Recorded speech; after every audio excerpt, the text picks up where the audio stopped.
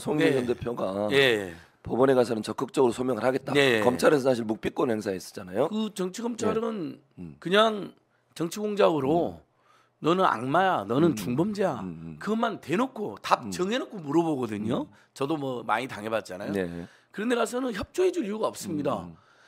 그 검찰이 예를 들면 피의자에게 유리한 증거나 불리한 증거나 객관적인 진상 규명 의무가 있는 자들인데 또 인권이라든지 정의를 수호해야 되는 자들인데 내가 저놈 죽여야겠다 음. 이재명이든 송영길이든 추미애든 그러면 유리한 정황이나 유리한 증거는 다 음.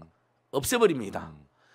오로지 피의자에게 불리하거나 피의자를 옥죄할 수 있는 어떤 증거, 예. 진술, 정황, 예. 심지어 그것도 조작해서 강압적으로 받아낸 것들을 가지고 압박을 하거든요.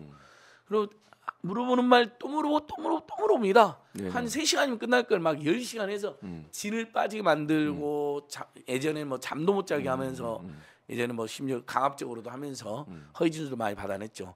그런 수사에 조사에 응할 이유가 없죠. 음. 그러니까요. 그래서 오히려 예. 재판부에서 예. 성실하게 이야기하는 게 맞는 것 같고요. 음. 이 기자들의 질문도 음. 정치 검찰이 뭐 과잉 수사 논란이 있다. 뭐 이런 걸 안 물어봐요. 음. 왜 프랑스에서 올 때 핸드폰 교체했냐? 음. 정치 검찰 흐려는 것만 물어봅니다. 방금 지- 아니 당연히 외국에서 외국에 가면 폰이 바뀌지 않나요? 외국 폰으로? 그럼 외국에 쓰던 폰 놔두고 한국 오면 임시, 다시 임시폰이나 오래 있으면 정시로 하고 한국에 잠깐 오는데 친구들 오면 임시폰 개통하고 다시 가지 않나요? 음. 그러니까 그냥 정치 검찰이 아, 증거인멸이 증거다. 프랑스에 올 때 폰을 바꿨다. 근데 일반적으로 외국에 있다 들어오는 사람도 외국에서 있는 쓰는 폰은 냅두고 한국 와서 임시폰을 쓰죠. 그렇죠. 보통. 그러니까 물어보는 질문부터가 뭐 회유를 했다 직원들 음. 이런 거 먹고 사는 문제 연구소가 7억을 받았다. 그러니까 그건 이제 송 대표가 열받으니까 답을 한 것 같아요. 예. 아니 내가 받은 게 아니고 먹고 사는 문제 평화와 먹고 사는 문제 연구소라는 싱크탱크가 그렇죠. 후원금을 받은 게 그동안 7억인데 여러분 규모 있는 싱크탱크는요. 예를 들면 연구원 박사가 있고 뭐 연구원 여러 명 있잖아요. 네. 그럼 1년에 인건비만 몇 억씩 나옵니다. 그렇죠. 그러니까 싱크탱크죠. 음. 그리고 뭐 임대료, 인건비, 음, 뭐 음, 음. 세미나비 음. 무상으로 어떻게 합니까? 공짜로 하면 그거 자체가 나쁜 거죠 오히려. 그렇죠. 그래서 몇 년간 7억이 들었는데 그걸 다 정치 송영길이 받은 정치감이라고. 그럼 평화 먹고 사는 문제 연구소가 그러면 예를 들면 사무실이 송영길 의원실에 있고 음. 직원도 다 송영길 의원 보좌관이고 그럼 그 말이 맞죠. 음. 직원이 다 따로 있어요. 네. 사무실도 따로 있어요. 회계가 완전히 독립되고 회계가 다 투명하게 공개가 돼요. 음. 세미나 했다, 인건비 했다, 임대료. 음. 그게 어떻게 뇌물이 되면 정치 자금이 음. 됩니까? 그러면 여러분 역대 그동안 유력 유수의 정치인들 현재 지금 현역 국회의원들도 싱크탱크 갖고 있는 사람들이 맞죠. 수십 수백 명인데 저는 구속돼야 되는 거예요. 그러면 그렇죠. 그러니까 자 다시 말하면 정리합니다. 음. 이정근의 이정근 씨 개인의 부적절한 어떤 행동을 수사했어요. 뭐 자기들끼리 싸움이 나가지고 아마 그랬던 예. 것 같아요. 예. 근데 갑자기 이정근 씨 녹취록이 있다고 그 녹취록도 남의 녹취록을 그렇게 수사기관이 다 들어보는 것도 저는 문제라고 생각하는데 범죄가 네. 특정된 것도 아니고 그렇잖아요. 개인적인 내용도 있을 텐데 그렇죠. 그러니까 사람들이 핸드폰 뺏어갈까봐 너무 많은 분들이 우리 국민들이 음. 노이로제 걸려가지고 네. 핸드폰 없애는 거잖아요. 그렇죠.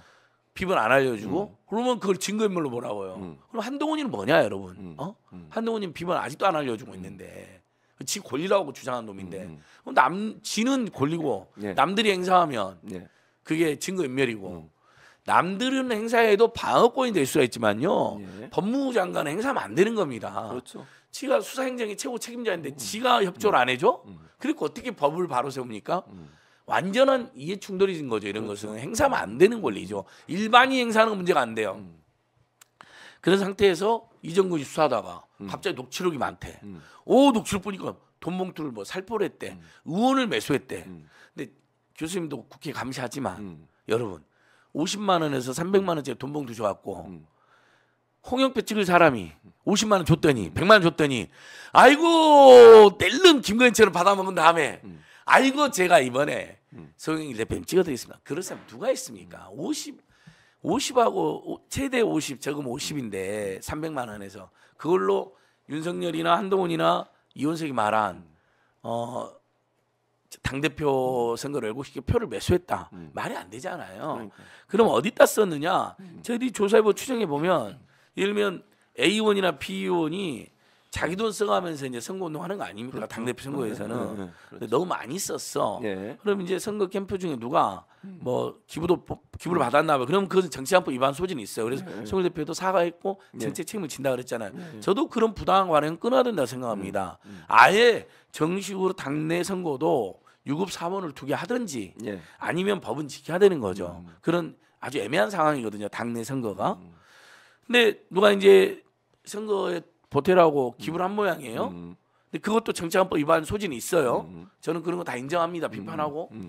그러니까 그러면 A원하고 B원들한테 200씩 주고 막 주면서 아뭐 선거운동원들 자원봉사들 많이 관리했다면서 음. 식대, 차비, 뭐 교통비 뭐 요런 거로 많이 쓰인 것 같아요. 모르겠어요. 그 중에 일부는 뭐 특정 대의원한테 예. 뭐 200만 원 받아갖고 특정 대의원 4 명한테 50씩 쪼개갖고 수 다음에 있지. 이 송영기 확실히 지지해줘 뭐 이랬을 수도 있어요. 예. 근데 그거 그렇다 하더라도 송영 대표는 녹취록에도 송영길이 목소리가 안 나옵니다. 예. 그다음에 송영길이 보고받고 송영길이 지시했다는 게 안 나옵니다. 내용은 없죠. 그러면 이런 정도는요. 음. 경 정치관법 위반 중에 그다음에 이번 검찰 공수처에 보면 6천만 원 정도예요. 예. 그러면 상대적으로 억 단위도 아니고 천만 원 단위예요. 그렇다 하더라도 잘못은 잘못입니다만 예. 불구속 수- 기소에도 충분한 사건입니다. 음. 그리고 범죄의 가발성이 음. 국민의 혈세로 음. 용돈처럼 막 쓰고 다닌 이영렬이나 윤석열하고는 그건 국민 혈세로 지 부하 검사들, 지 조직원 검사들한테 수사 끝났을 때나 명절 때나 연말에 막 몇백만 원 주잖아요. 이번에 다 밝혔잖아요. 이현석 검찰총장도 여러분 70만 원을 받은 놈입니다. 그래갖고 송영일 대표한테 뭐 국기문란 사건이 된 것처럼 짓거렸는데 저는요 제가 여러 번 말씀드렸잖아요. 제가 어렸을 때 노상방뇨를 했어요. 저는 만약에 공직 후보자가 정치 노상방뇨로 걸렸다. 저는 지금도 노상방뇨로는 비난을 못합니다. 내가 해본 적이 있기 때문에 예. 사람이 보통 그러지 않나요, 목사님? 자기가 한 잘못이 있으면 제가 어렸을 때 제가 학부모일 때 우리 집으로 누가 이장전이 만나는 거예요. 음. 좋은 학교 가고 싶어서 어, 예. 당시 혁신학교가 인기인 적이 있었거든요. 예. 혁신학교로 가고 싶어서 우리 집에 전입 신고 하겠다 그랬어요. 음. 해줄 수도 있었어요. 저는 저도 그다음 우리 애도 이장 전입을 한 번도 안 했기 때문에 이장 전입에 대해서 자신 있게 비판할 수 있는 거예요. 근데 만약에 그때 해줬으면. 어쨌든 가까운 사람이니까 그래 혁신학교 좋은데 꼭 들어가고 싶어서 그런 거죠. 그래 잠시 우리 집에서 애가 사는 걸 해드릴게요. 했으면 저는 아마 음.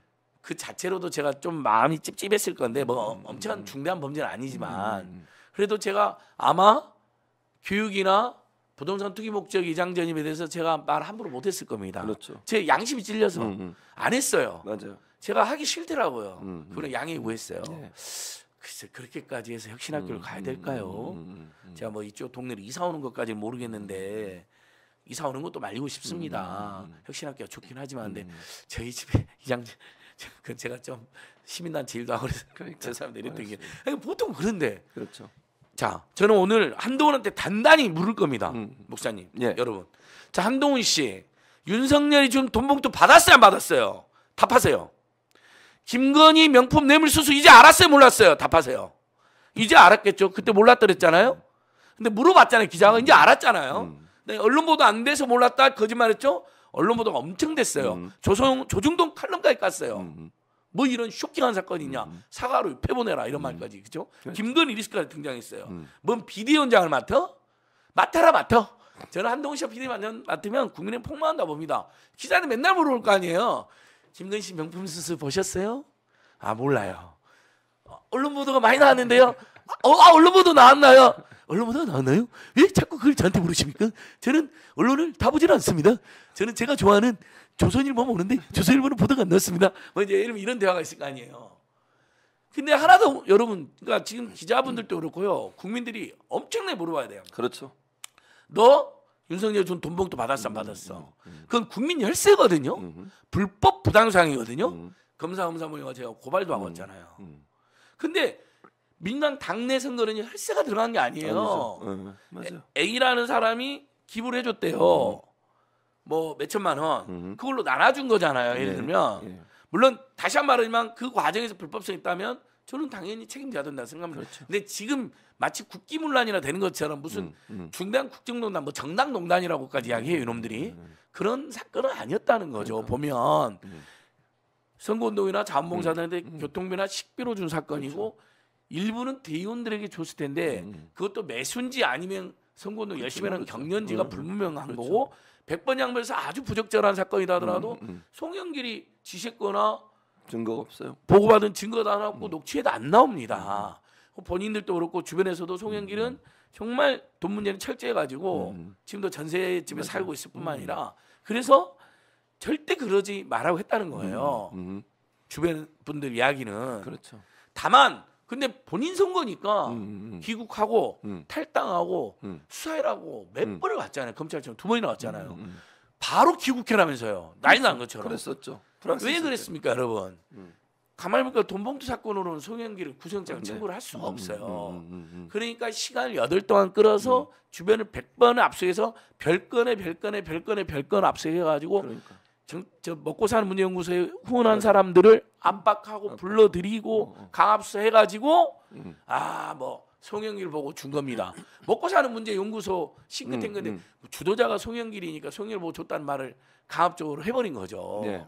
근데 이 여러분 이 싱크탱크는요 두 단계를 거치게 돼 있어요. 음, 음. 하나는 행정부처에 등록을 합니다. 국회라든지 네, 맞아요. 그 등록 절차 매우 까다롭습니다. 네. 두 번째 이분들이 후원금 내면 기부금 소득공제를 해주거든요. 해주죠. 기부금 소득공제는 더 까다롭습니다. 네, 네. 국세청과 기재부의 음.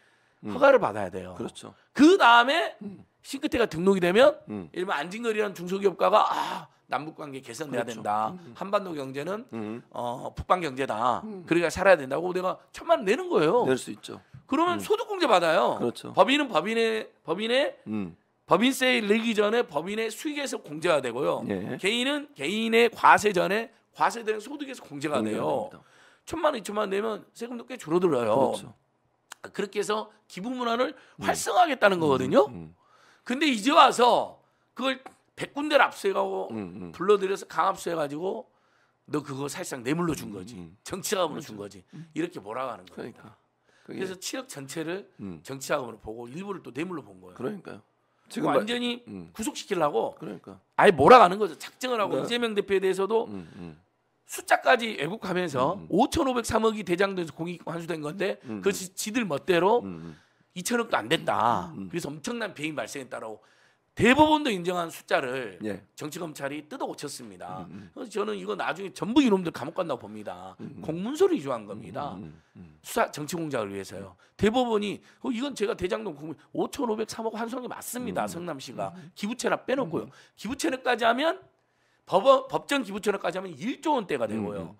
법으로 안 내도 되는데 대당업자들이 이재명이 하도 돈 내놔 돈 내놔 돈 내놔 해서 공산당 개새끼 십새끼 뭐 욕했다잖아요. 그런 아니 그저그 저는 절대 욕을 안 합니다. 예, 예, 그 맞습니다. 대장동 업자들이 예. 재판에서도 소새끼 뭐 S새끼 뭐 하면 요구하면서 빨갱이다 공산주의다 했다 이런 녹취도 나오고. 그러잖아요. 음, 그렇죠. 그냥 5,503원 안 내도 되는데 내죠. 내놔라고 했으니까 네. 그럼 박수 받아야 되는 거죠. 음. 결과적으로 부동산이 엄청나게 뛰어가지고 다 환수하지 못한 거에 대해서는 정치적 정책적 책임을 진다 하더라도 음. 어느 지자체도 하지 않았던 음. 그냥 1조를 민간업자한테 이익을 줬는데 음. 1조로 받아낸 겁니다. 그렇죠. 음. 이제 근데 그거에서도 5,503억을 이놈들이 음. 숫자를 줄입니다. 음. 2천억도 안 되는 돈을 환수한 것처럼 음.